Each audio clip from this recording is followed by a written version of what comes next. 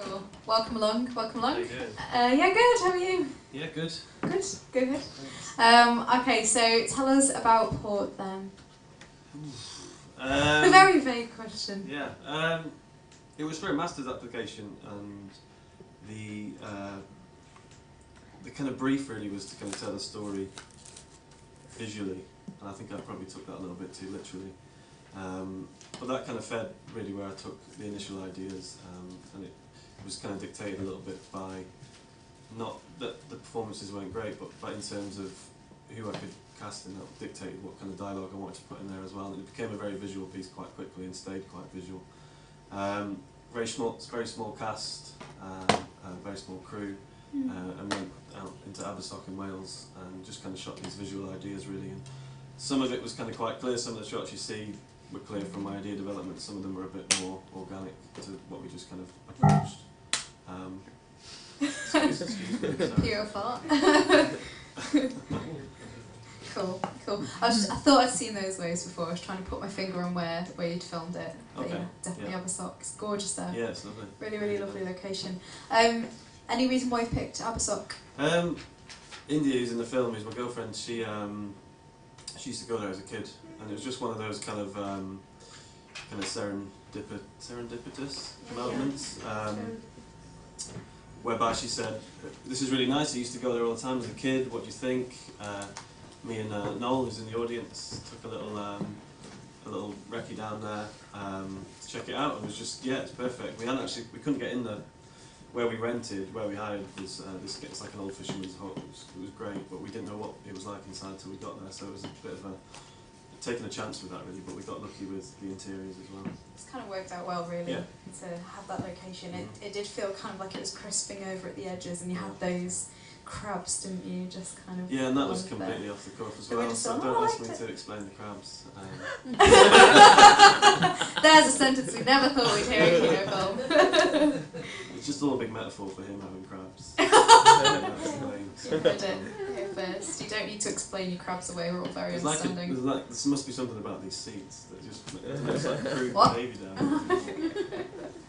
Brilliant. No, that's really cool. I quite liked the contrast between um, the kind of crispy crabs and how your main character, the guy, I don't know what his name was, was very sort of amphibious and didn't seem to Yeah, come to life until he was near water.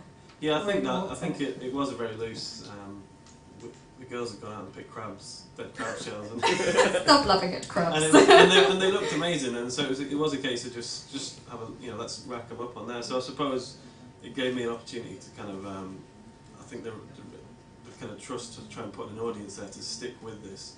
But I kind of wanted it to be frustrating. I wanted there to be kind of patience there to just kind of I wanted that tension to build, and it was more of a kind of visual scape than trying to really kind of get a true narrative across. But the crabs kind of added to that and kind of given him some sort of OCD element as well. So Cool. Okay.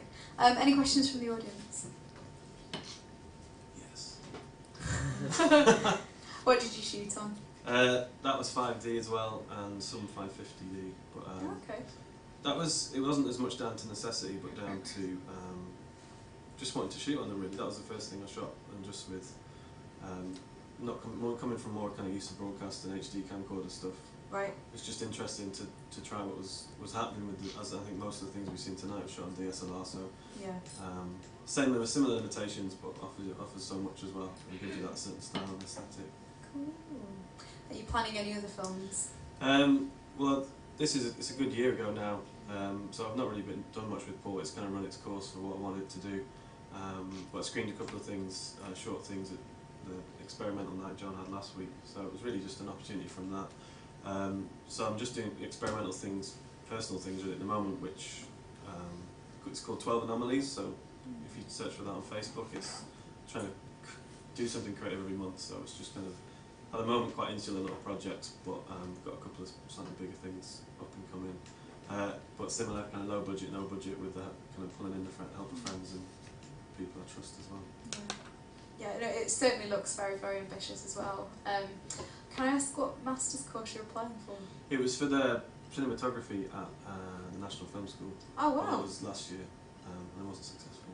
So, but it was cool. yeah, it's, it's tough, and um, maybe in the future, but not this year. Yeah. Um, see what happens.